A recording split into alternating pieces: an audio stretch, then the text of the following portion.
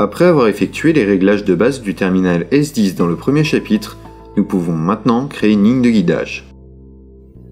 Pour cela, nous allons sur la bordure de champ, au point de départ adapté. En bas à gauche de l'écran de travail se trouve le menu de planification des lignes de guidage. Nous sélectionnons ligne droite et cliquons ensuite sur AB pour créer une ligne AB. Nous cliquons sur le point A et définissons ainsi le point A sur la position actuelle de l'outil.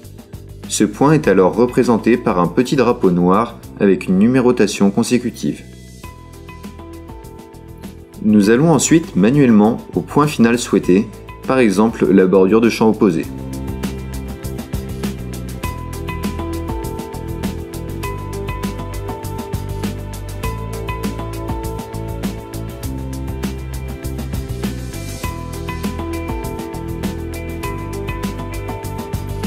Arrivé à ce point, nous cliquons sur le point B et nous établissons ainsi le point final à la position actuelle de l'outil.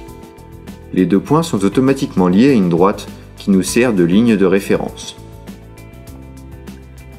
En fonction de la largeur de travail paramétrée de l'outil, les premiers passages sont maintenant affichés à gauche et à droite parallèlement à la ligne de référence.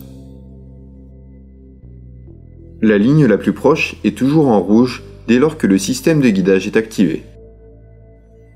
Pour activer le système de guidage, il suffit d'appuyer sur le bouton Autopilote sur le levier multifonction C-Motion.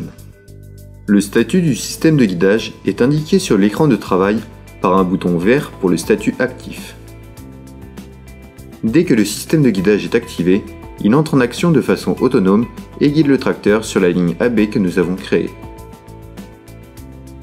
En fonction des réglages, la mémorisation de la surface travaillée, représentée par une voie verte derrière l'outil, commence soit automatiquement en activant le système de guidage, soit directement lorsque l'outil est en position de travail. Pour cela, le compteur d'hectares doit être d'abord paramétré en conséquence sur le CBIS.